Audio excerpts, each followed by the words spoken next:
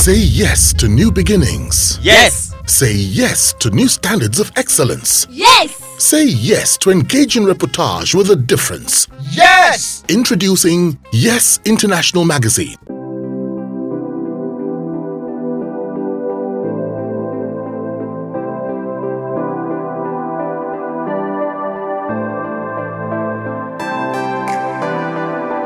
How is life as a comedian? Um, it's it's been very wonderful being a stand-up comedian, and it's been fruitful. We thank God, but it's always very tough because making an average Nigerian to laugh, you have to be very creative. You have to be on top of your game.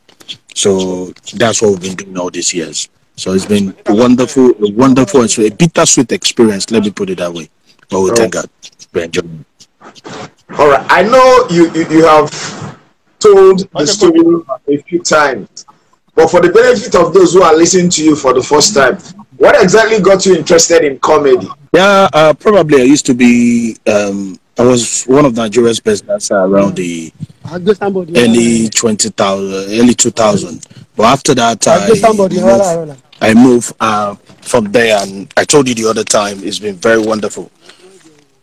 After music, I was part of a group called the Uniqua. We're doing music, but before you know it, we're doing stand-up comedy, and everything, everything is wonderful. But right now, the experience is tough, uh, awesome, and it's crazy. So it's been wonderful. So the experience is fine. But right now, we're doing better. I, I I started as a musician. I was a dancer, but right now, while we're doing all that, one of the things around 2000, 2001, probably 2002, we have a show in Ogbomosho, and the MC was supposed to be probably Julius Agwu, and he did not show up. And my music group was also there. So after that, we started doing that, and before you know it, I pick up the mic, I talk for like hours. I was the host for the evening, and before you know it, everybody's like, "Ah, you, you try, you, you get just." So that's how I started stand-up comedy, and it's been wonderful. Interesting. Interesting. So, what makes a good comedian? Wow. You know, we have different genres comedy, so it depends on what you're talking about. We have people that are good skit Okay, makers. stand up, stand up comedy. Let's talk about that one, which is your area of specialization.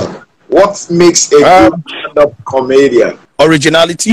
Um, you have to read a lot. Versatility, spontaneousness. You have to be very spontaneous, and you have to have the audacity to face your audience. That's what distinct a stand-up comedian from everyone.